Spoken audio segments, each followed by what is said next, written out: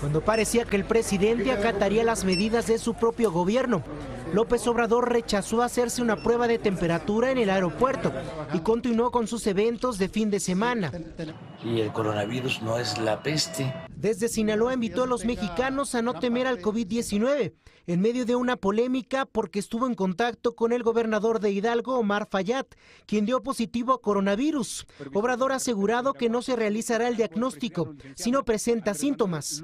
Y mientras él está de gira, todo su comité de salud hizo un llamado enérgico.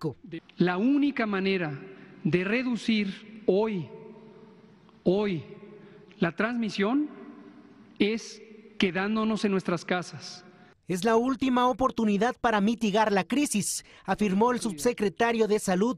México registra un periodo crítico de contagios y es impostergable confinarse en casa. Y es que tal y como usted lo puede observar, el flujo de personas ha disminuido, sin embargo, muchos mexicanos aún se encuentran en las calles, a pesar de las advertencias de las autoridades. En la capital del país hay danzantes, turistas y ciclistas, algunos sin precaución ni preocupación. Sí, la verdad es que yo no creo que exista, no, no le tengo miedo. Otros, como Jacobo, no han parado labores porque simplemente no pueden. Porque nosotros no percibimos ningún sueldo, vivimos de la gente.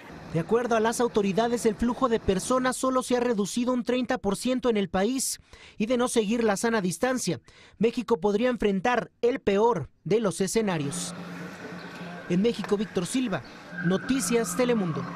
Estados Unidos ya hay más de 82 mil infectados, son mil más que en China y dos mil más que en Italia.